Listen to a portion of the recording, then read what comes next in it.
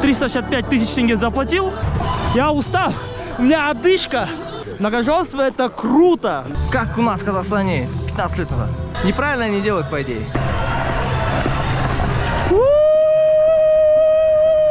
Все-все, брат. Выгляжу как... На самом деле это все хромакей, мы на роликах катаемся в студии за степа. А мы-то думали, что ты Жаном, Айналайн, Алтыным. Woo, woo, woo, woo, woo, woo, woo.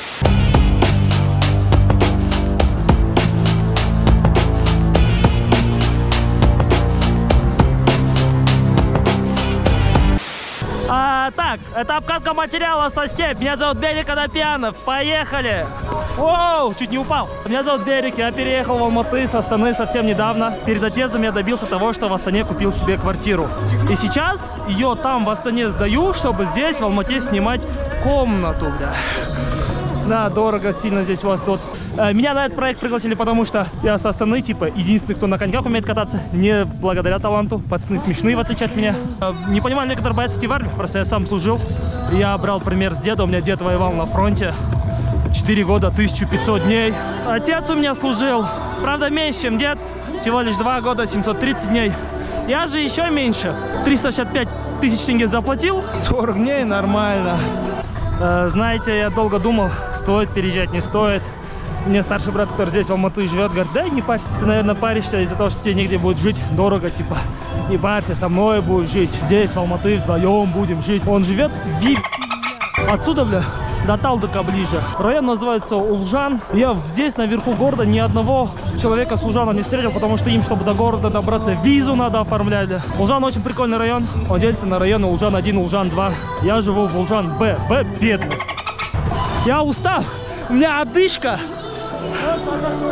Я могу вот так вот просто повернуться и поехать, чтобы хо- холод не бил. Во, вот сюда. Здрасте! Добро пожаловать на Медеу. Можно вам пару вопросов задать? Пару вопросов вам можно задать? А, sorry, I don't understand English. Sorry. Я рядом где.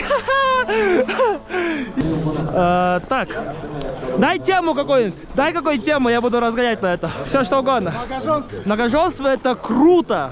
Это кайфово. Если у тебя многочлен.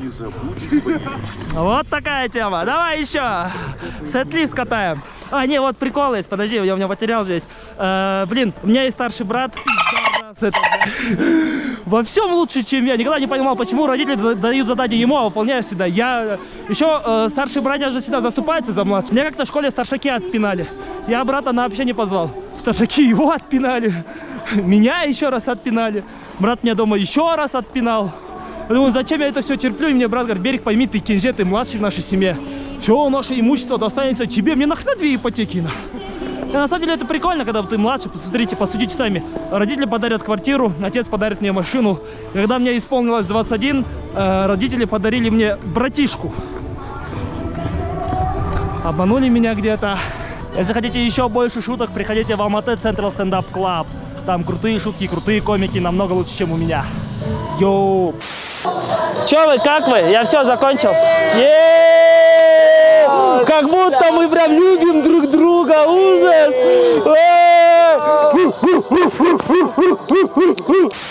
Короче, я, короче, я сейчас подумал, что когда нас обывали, есть типы, которые покупают коньки на вырост.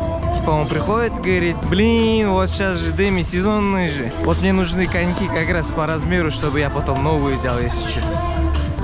А потом он говорит, блин, брат, у меня только во втором контейнере, пойдем туда сходим. Я считаю, что коньки скучно, неинтересно. Просто едешь и все. Просто очень быстро ходишь, точнее. Неинтересно же. Ты куда торопишься? Я никуда не тороплюсь. Но на самом деле очень опасно не уметь кататься и кататься на коньках. Надо найти типа, который плохо катается. Пацаны, салам. Че, вы нормально вообще катаетесь? Вы умеете кататься же, да? Сейчас просто, пацаны, опасно вот на коньках ездить. Кто не умеет кататься, вот если на коньки стоит, это очень опасно для здоровья. Знаете, надо, на- надо научиться правильно кататься. Вы умеете правильно кататься?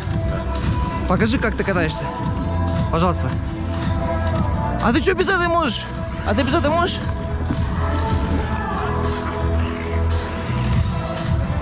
Не, ну так я тоже могу, пацаны. Вы с вот этой попробуйте так. Сможешь так сделать спиной? Ну, с этой с дельфином.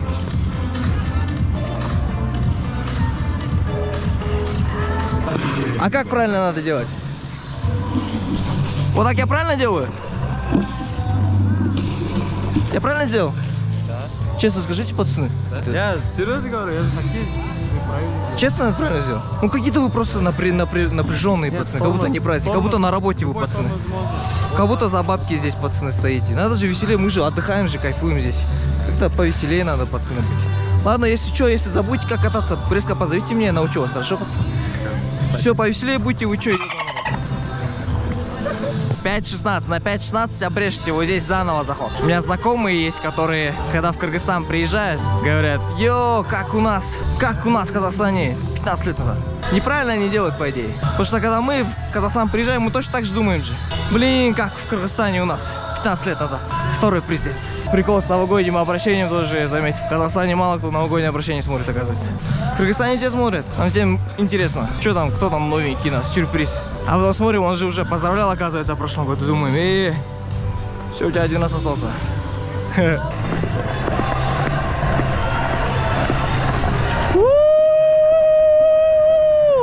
Да, он не соврал, на ней можно смело разогнаться.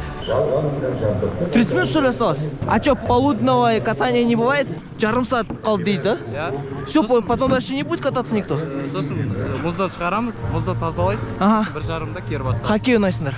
жоқ э, бір жарымда кері басталады шамалы А, кері басталады Сен хоккейстің, да, брат? Че, а хоккей ты хорошо играешь? Лучше, чем ка- на коньках катаешься. сегіз жыл ойнадым И... А какая у тебя позиция? Защитник? М, Не придумал шутку. Ладно, брат, ты опять какой-то грузный.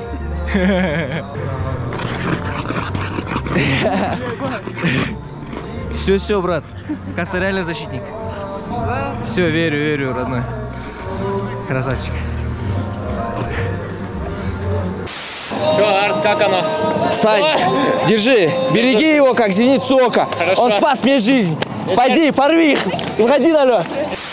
Два, три. Здравствуйте, меня зовут Саша, мне 18 лет. О боже, это обкатка материала для The Step. Поняли? Типа, обкатка на катке. Мне 18 лет, я выгляжу как... Да, да, я. На самом деле это все хромакей, мы на роликах катаемся в студии The Step. Это все обман. О чем я говорил? Я как выгляжу, да? В общем, я себе ухо проколол. И вообще-то левое ухо прокалывают натуралы, а правое геи. Я вот микрошаг живу. И знаете, это прям плохое оправдание, когда тебя доебываются. Тебе подходят такие, а что у тебя серьга в ухе? Ты пидор?» И ты такой, не Вообще-то левое ухо прокалывают натуралы, правое геи. И он такой, а, ну да. А мы-то думали, что ты. Вот такая история. А! Первое падение. Все нормально. Я жив. Вот до чего стендап доводит. Мог бы просто сидеть дома. Я люблю казахский язык. Потому что в казахском языке так много красивых, нежных, ласковых по значению слов. Даже не верится, что это казахи пиздят своих женщин, правда? Здравствуйте. Как видите, не очень. Жизнь сильно помотала. В какой-то момент ушел со школы, стал стендап-комиком. Можно на вас шутку проверить? А, ам, я считаю, что нам в Казахстане точно стоит легализовать проституцию. Понимаете? Нет, я к тому, что это будет полезно для общества. Мы заставим их платить налоги. Будет депутатам кэшбэк. Нет, мы вас засняли специально, чтобы вы сели в тюрьму потом. Что? Я все забыл.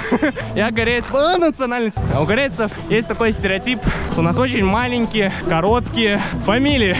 Очень компактные, помещаются во рту легко вообще. Знаете, бывает такое, что когда знакомишься с человеком, первые 30 минут он перечисляет все корейское, что было в его жизни. Я как-то ехал в такси, я сажусь в такси, говорю, Салмат Сбагай. Мы сидим, он говорит, брат, ты казах? Я говорю, Жокагай, кореец. Он такой, а, был у меня кореец, хороший был. Я его и в хвост, и в гриву брал, блин. И седлал, седлал его. Я какой-то момент думал, он точно про машину вообще. Я сейчас упаду. Привет, это Саша Цай из будущего с э, отбитым копчиком. В данный момент я падаю. Но 14 января пройдет мой сольный стендап-концерт по адресу проспекта Бая 8А. Приходите, покупайте билеты, всем буду рад. И возвращаемся к моим падениям. В общем, ребята, больше юмора. Централ, Алматы, стендап. На Кабанбай Батыра 71. Вы слышали? На Кабанбай Батыра 70.